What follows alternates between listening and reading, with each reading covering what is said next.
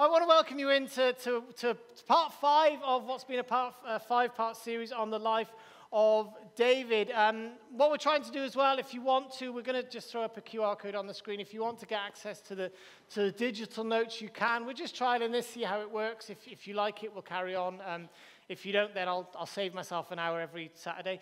Um, but do, do have a look at those. They are in paper form at the back as well, so you can take those. Um, what I'd love you to do with me this morning is turn to uh, 2 Samuel chapter 5, where we're looking at the life of David um, and how he fared as a king. And while you're getting there, I just want to tell you a story about, I heard about two men who, who had the same surname and just happened, so happened to live on the same street.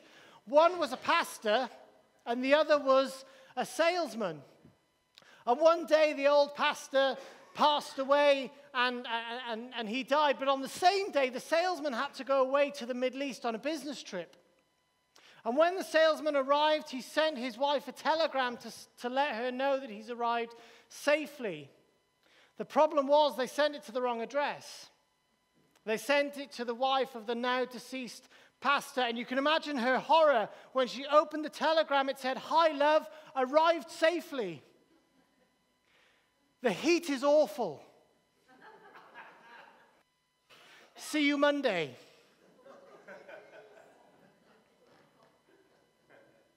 If you've got your Bibles open, uh, 2 Samuel chapter, chapter 5, starting at verse 17, it says this When the Philistines heard that David had been anointed king of Israel. I want to stop there. The Philistines. Why are the Philistines important? Why are the Philistines important to us? Um, well, we know from the Bible the Philistines have been enemies of the Israelites for a long time. If you go back to the uh, time of the judges, uh, if you look at Samson, the, you know, the, the Philistines were the main oppressors of Israel. Actually, if you go back even further into the book of Joshua, it's, it's, Israel's failure when they go into the promised land. It says they didn't quite throw everyone out, and it's their failure to fully occupy the land. That, that means the Philistines can grow and actually be a, a force in Israel. So, so even though the, the Israelites had kind of claimed the land, actually there were parts the Philistines were still in control of.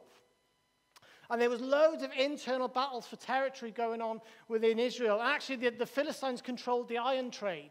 So if you wanted iron, you had to buy it from the Philistines. So when Israel tried to buy iron, they had to buy it from their, their enemies. They had to buy it from the Philistines. And the Philistines is not going to sell their enemies good iron. So they always sold the Israelites the cheap stuff. So you've got the Philistines fighting with this superior armor, superior chariots, superior weapons, and the Israelites fighting with the, chief, with the chief, cheap, cheap stuff. It's easy for me to say. Um, and the, the Philistines actually the main reason. If you go back into the book of 1 Samuel, this is why the Israelites say, God, we need a king. We need a king to defeat these Philistines. And God said to Samuel, Listen, I'm going to send you a guy. And it's going to be Saul. And he said, Anoint him to be the leader because he will rescue you from the Philistines. And, and, and, in fairness, Saul never lived up to kind of what God had given him to do. And, and the Philistines end up being major characters in the lives of, of Saul and David.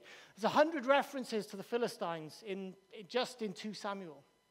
Uh, sorry, in, in, sorry in, in 1 Samuel. There's a hundred references. So they're pretty major players. It's the Philistines who, who, who Goliath is, is fighting for. When, when, when David has to fight in Saul's army, it's the Philistines he's fighting against. Where it was the Philistines actually who finally killed King Saul.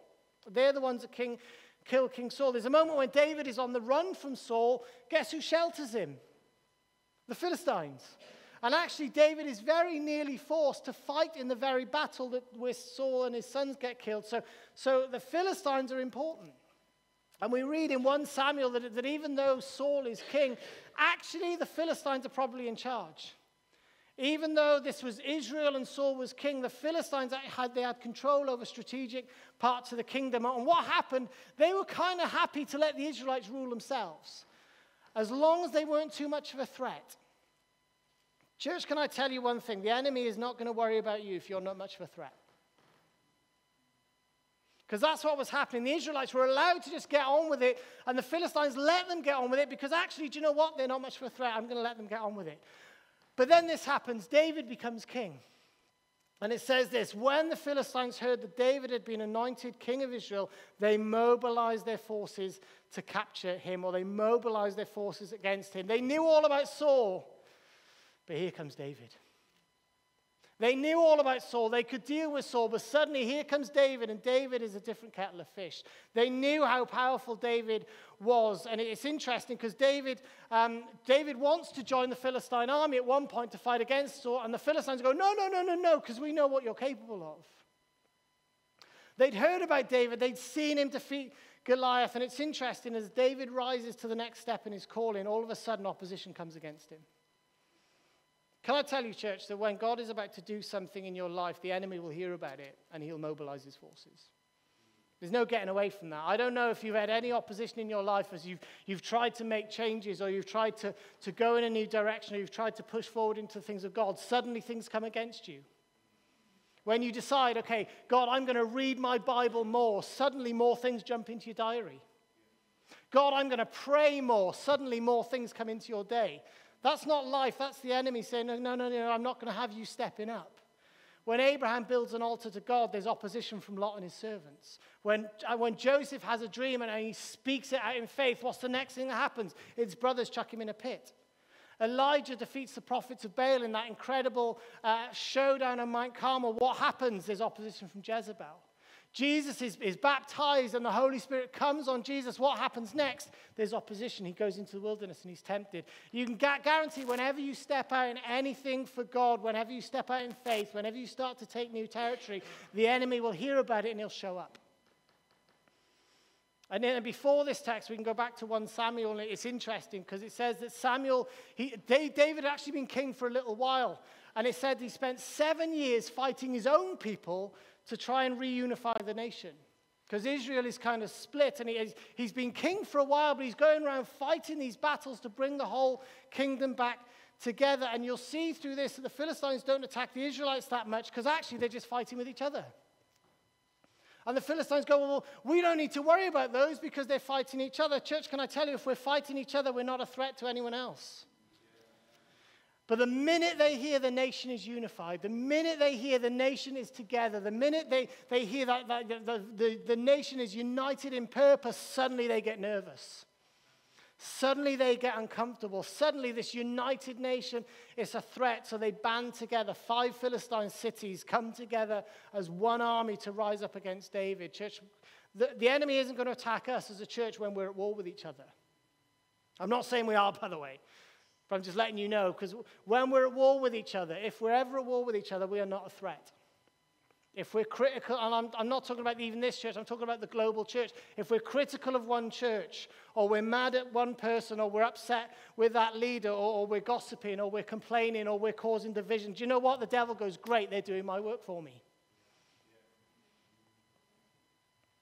That's why Paul and James, you read Paul and James's letters, they say so many times, sort yourselves out. Get your relationships right. Sort out any issues between each other because if you're not, if you're fighting amongst yourselves, you are not effective and you're not going to take any ground. And it's this early part of David's kingship, you can read it through. The Philistines never attack David as long as he's fighting these internal battles. But once they hear the country's unified, once they hear the country's standing together, that's when they attack. And I know that, that when we stand together, when we stand united in vision, when we stand united in purpose, do you know what We'll get, get the devil's attention? And I'll tell you this when we get the devil's attention, I go, great. Do you know why? Because we're doing the right thing. So I know when we come up against opposition, do you know what? If we're not being attacked, I get worried. Because if we're not being attacked, then the devil doesn't see us as a threat. So when we do get attacked, I get a little bit relieved because I know it's proof that we're upset in the devil's plans for this town. Anyone with me? Yeah. Right, we've done the first verse. Nine more verses to go. How are we doing? Not very good. Right, we'll keep going. It's interesting because they go to this place, they call it the Valley of Rephaim, and Rephaim is, is Hebrew for the place of giants. So they march out into the place of the giants. They spread out across the valley, and the, the understanding here is they actually form a wall uh, with the, the, strongest soldiers on the front line. Now, now, look at this. What does David do? He runs to the stronghold. David runs to the stronghold. There's something powerful in that. Even though they're in the valley of the giants, David's a giant killer. David's killed giants before. David's beaten the Philistines before. What David didn't do was go, hey, hey, I've seen this before. I can do this just like last time. No problem. I know what I can do. I know what I'm doing. I can do this in my own strength. Even though they're in the valley of the giants and David's a giant killer, he didn't go up to fight. He went down to pray. David was a king that prays. He was a king who went to the place of prayer. And I want to ask this question, and let's be honest, how often when something happens in our lives, when, when, when, when, when things just come into our lives, how often do we rise up when we need to go down? Or how often do we go to the fridge, or the wine cupboard, or the shops? Or to people who are going to tell us what we want to hear, how often do we, do we, do we go up when actually what we do is need to go down? Into that place of prayer, into that place of God's presence. I love the way the NIV puts this, verse 17. It says, The Philistines came up, but David went down. When trouble comes up, he goes down. When problems come up, he goes down. When opposition shows up, he goes down. Even though he's, he's experienced in warfare, he's defeated Goliath, he never got so confident in his own ability he thought he could do it without God. And he goes into the stronghold. It's this place to pray. Now, we don't know where that stronghold is. Some people say it's the cave where he hid from Saul. Um, we know David's living in Jerusalem, so it might be a place in Jerusalem. We, we don't know where it is, but wherever it is, the, the, the principle is this David did something he always did when he faced trouble he ran to a stronghold. He ran to that safe place. He ran to that hiding place. Before he went to stand up to the Philistines, he bowed before God and said, This is how I fight my battles. This is how I fight my before I'm going to do anything, before I make a move, this is how I fight. And it's just a great principle that David knows. That, and I just, I got this from another pastor. I don't mind admitting I got this from another pastor, but I loved it. And he said this For upgraded attacks, we need to upgrade our worship. Because David knew what took courage in one season was going to take consecration in the next. And just like David, we all need a stronghold. We all need that place of safety. We all need a place of security. We all need a place of peace. We need a place where we can draw close to God's presence. We need a place we can go deeper in prayer and in intimacy with God. Psalm 91 says this Those who live in the shelter of the Most High. How do you get into a shelter? You get close to whatever is given the shelter. Those who live in the shelter will find rest. Where? In the shadow. You can't be in, sh- in the shadow of something a few miles away from it. it. Says this, this I declare, He is my refuge. He's my place of safety. He's my God, and I trust Him. In every battle, He's my refuge. He's my place of safety. He's my God, and I trust Him. David knew prayer was key. He'd seen, move, he'd seen God move time and time and time again, but he still doesn't move without consulting God. And I just want to just encourage, challenge, whatever way you want to take this. Do you know what? You might be a giant killer in your life. There may be giants in your life. Do you know what? You've beaten them before. You might know how to defeat certain giants. You might know what to do, but so did David. And he still went to the place of prayer. He still went to God. And his prayer is interesting because his, his words aren't, God, will you help me? His words, are, his words aren't, God, God, will I win this? His first words are, God, do I have permission? Should I go and fight? Is this my fight? Do I have permission to fight the battle that I used to fight? Do you know, we, we, Hannah alluded to it earlier. We're going through a battle at the moment, and there's times, there's times at this point where I've got to go, God, is this my fight? And I've got to bring it to God. Because I can get angry, I can get upset, I can get uh, distraught. But there's moments where I've got to say, God, is this my fight? Because the battle belongs to God. And I think David's heart is incredible here. He saw an opportunity to do what he did before, but he still asked God's permission. He saw a battle he'd, we'd won many times before, but he still asked God, Do I have permission to fight this? So David goes to what we call this, this place of permission.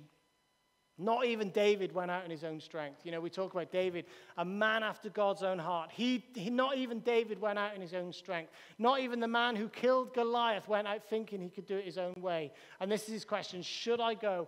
Is this my fight? And then look at his next question. He said, Will you deliver them? Who's getting the credit? God. It's not will, will, will I defeat them, it's will you deliver them? Will you defeat them? At no point does he attribute any glory to himself. This is all for God.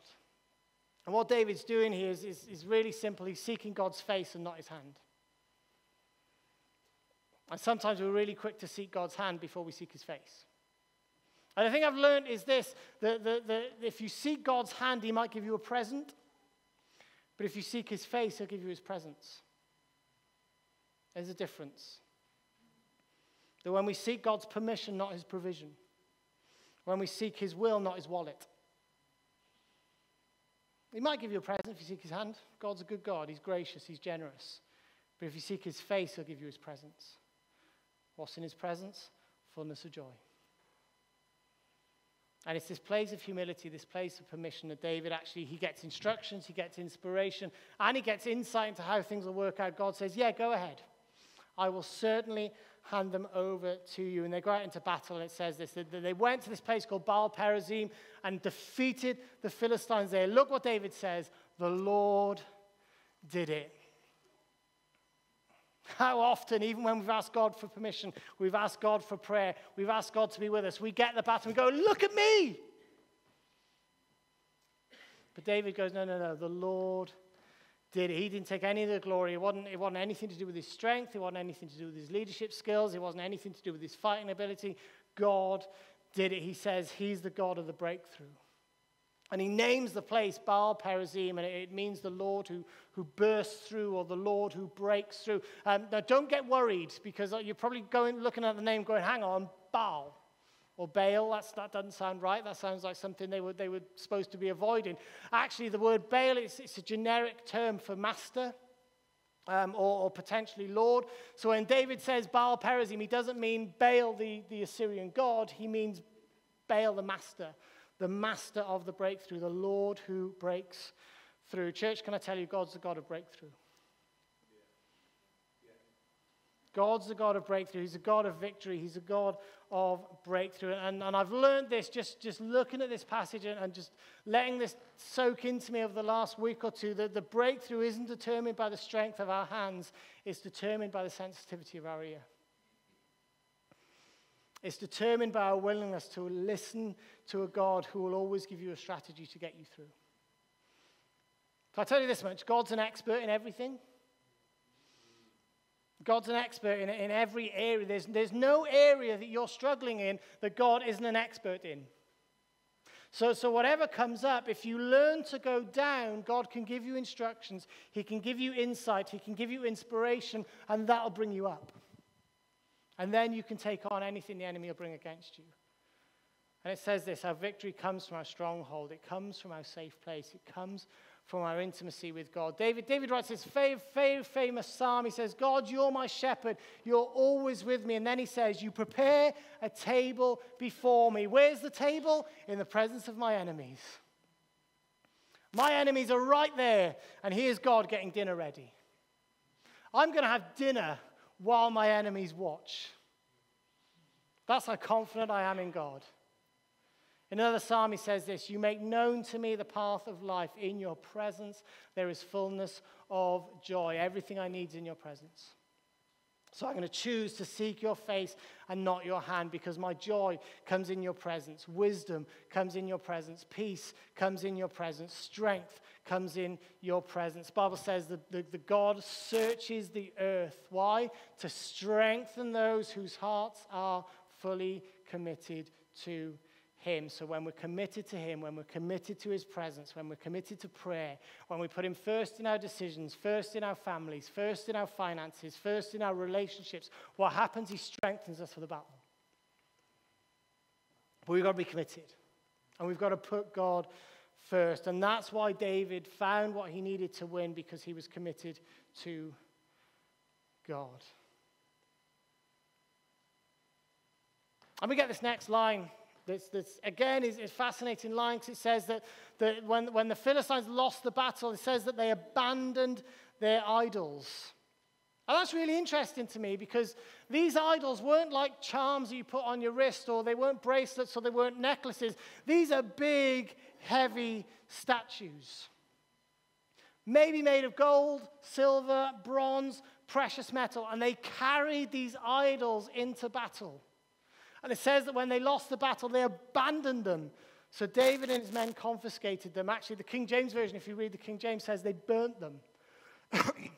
which is probably what happened after they confiscated them. So there's no mistranslation there because actually God says, you know, get rid of these idols, burn them. So they, they go and do that. And, and I, want you, I want you to see this because David is king, but when Joshua and Israelites first came into the promised land, they didn't do this. They let them stay. They thought, oh, well, we can control this, we can, we can deal with this, it's okay, we'll, we'll, we'll let them stay. And actually, those idols remained, and what happened? It cost them. For hundreds of years, it cost them because they didn't get rid of it right at the start. So, so here's David, and suddenly there's all these idols to a false god silver, bronze, precious metals, and probably would have been quite valuable. But look what David does. Does he put them on eBay? Does he take them home to put them on his shelf? Does he put them in a museum? No, no, no, he burns them. Even though they might be valuable. He burns them because that's what God told him to do. I want to be very careful here and maybe a little bit strong, but sometimes there are things that we've allowed into our lives that aren't of God. And God says, no, no, don't control it, don't save it, don't pack it away, burn it. It needs to be destroyed. And I'm not suggesting we walk around with an idol in our pockets, uh, but, but there are things that we can walk around with that, that isn't from God. Paul says, get rid of bitterness, get rid of rage, get rid of anger, harsh words, slander, as well as types of evil behavior. Do you know what? You can't win battles when you're carrying around that sort of stuff. You can't win battles when you're carrying around those things. Uh, pride, greed, laziness, they, they can all become things that actually we choose to put before God. So they can all become idols, and God says, Don't put anything before me. And I want to encourage you if you know you're carrying that into your battle, God say, Burn it. Because it's just going to weigh you down. I want you to see in the next verse that the, the, the army, again, moving on through these verses, the army, David, he thinks he's defeated them. The Philistines run, and look what happens. They come back. They come right back. Same army, same valley. But look what David does. He asks the Lord what to do.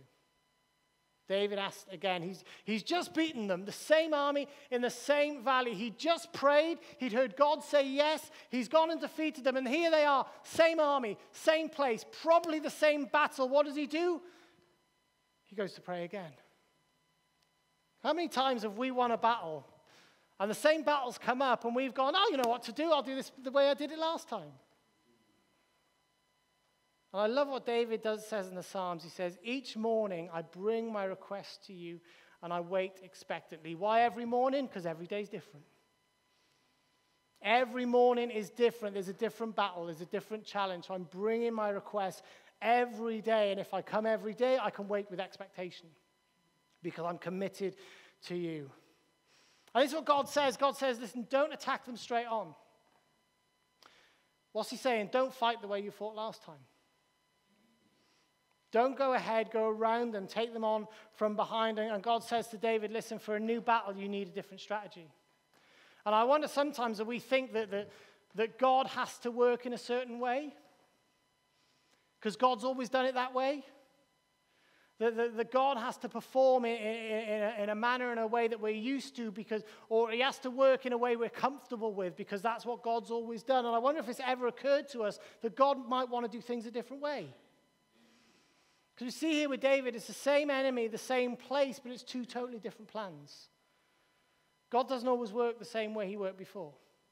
You know, Jesus actually, we think Jesus' method for healing people was just putting his hands on them. Can I burst that bubble and tell you Jesus spat on people? Jesus put his fingers in people's ears. He rubbed his spit on their tongue. Sometimes he just said, Do you want healing? Go away. And they, they got healed on the way back. Sometimes he just spoke healing out. Sometimes he touched people. But he very rarely, if you look at the, the narrative of Jesus' miracles, he very rarely did the same thing twice. Different battle, different strategy. I want to invite the band back up as I start to close. And there's a passage in Isaiah that's, that's all about God uh, promising his presence. Come on, Rich, you can come out. We'll have a bass solo. And Isaiah, uh, and God's talking to Isaiah, or God is talking through Isaiah to the nation, and it says that, that, that, that God is saying, You know, I've been with you, and He reminds the people of all the times God's come through for them. He reminds them of all the times of their history, all the battles they've won, all the, the all the victories they've won. He reminds them of their past, but then He says this, But forget all that. It is nothing compared to what I'm going to do. I'm about to do something new. I've already begun. Don't you see it? I'll make a pathway through the wilderness. I'll create rivers in the dry wasteland. I'm going to do something that's never been done before. I'm going to make paths where there were no ways before. Forget about yesterday's strategy. That was good for yesterday, but it's not good for now. It was good for then, but it's not good for day. The only thing you need right now is to stay close to me. And God would say, listen, what I, what I had you do yesterday is not what you need for today. You can't defeat yesterday's, yesterday's enemy with today's strategy. Sorry, today's enemy with yesterday's strategy. Do you know what? I was watching, I'm not a, a Formula One fan. I can't think of anything worse, to be honest. But can you imagine having a, a 1920s Formula One car against a, a, one that was built in the last couple of months? You can't outrace today's Formula One cars with yesterday's cars. If you're into Wimbledon, you can't defeat today's players with yesterday's rackets. You can't defeat today's illnesses with yesterday's medicine. So you can't defeat today's enemy with yesterday's strategy.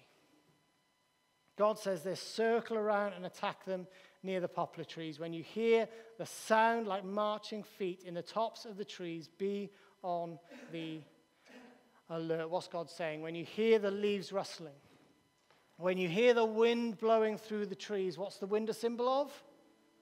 Holy Spirit. Jesus said the Spirit's like the wind. He said it blows wherever it likes. You can't, you can't see it, but you can hear it. Acts 2, the day of Pentecost, the, the, the early church in, the, the, the, in, in whatever room they're in.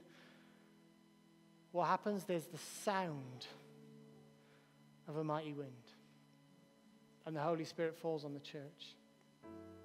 And it's the same meaning in the Hebrew and in the Greek. In the Hebrew, the, the word spirit is ruach, and it means breath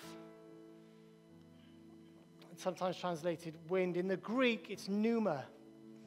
Guess what it means? Breath. So when God talks about the wind, he's not talking about the wind, he's talking about the Spirit. And he says, when you hear the sound of marching in the tops of the trees. Now, I don't know if you've ever tried to march in the top of a tree.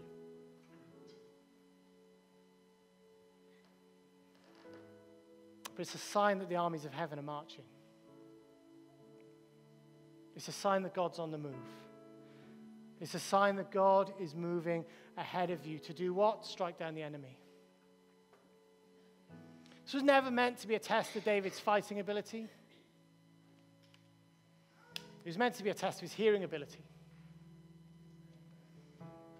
And said David did what the Lord commanded. He waited for the sound of the wind, and when he heard it, he, he, he heard the army of God going ahead and he struck down the Philistines. Actually, signals the end of the Philistines' dominion over Israel. They, they don't quite go away yet, but this defeat kind of signals the, the beginning of the end. By the time David dies, the Philistines are no longer a threat to Israel. But it comes about not because David's a good fighter, not because he's a good leader, not even because he's a good king. It comes about because David was a good listener. David knew the battle belonged to God. David knew that he had to fight his battles on his knees before he could fight them on his feet. And I want to suggest very carefully some of us have been trying to fight battles on our feet for too long. And we haven't been getting anywhere. And maybe God's allowing the enemy to put so much pressure on you that actually it's forcing you to your knees.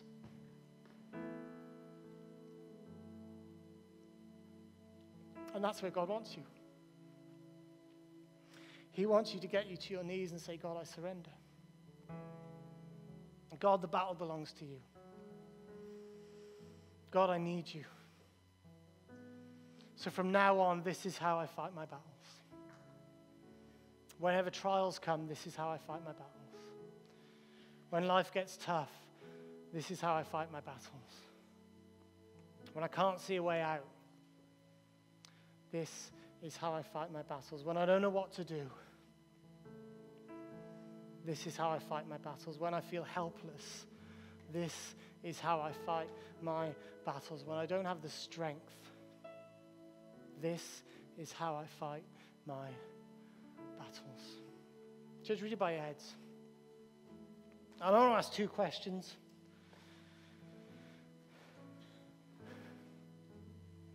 Are you in a battle right now?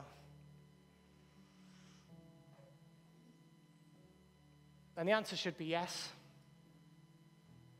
And the second question is how are you fighting it? And if you're in a battle right now, I want to encourage you to take a posture of surrender. If you're physically able to kneel in a moment, maybe you can kneel. If, if, if you're not, maybe just, just open your arms wide and surrender. Don't, don't, don't carry the TV. Don't carry anything. Just open your arms wide and say, God, this is how I fight my battles. Arms open wide, surrendered to you, surrendering my will, surrendering my control, surrendering my agenda, surrendering my strategies, surrendering my expertise, surrendering my experience, and I'm going to let you be God. I'm going to let you be Lord because it's your fight. It's your battle. The battle belongs to you. So, just where you are, don't you just start to surrender your battles? Let Him fight on your behalf.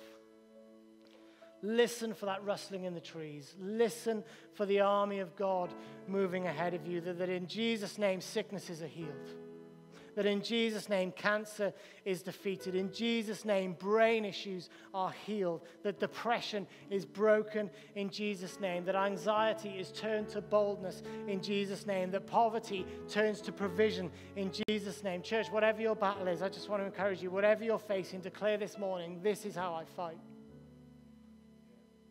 This is how I fight my battles. This is how I fight my battles now. This is how I'm going to fight any battle that might come before me. Just wherever you are, make that de- declaration. This is how. This is how I fight my battles. You might want to stretch your arms out, you may want to kneel. But put yourself in that posture. Instead of going up, take yourself down.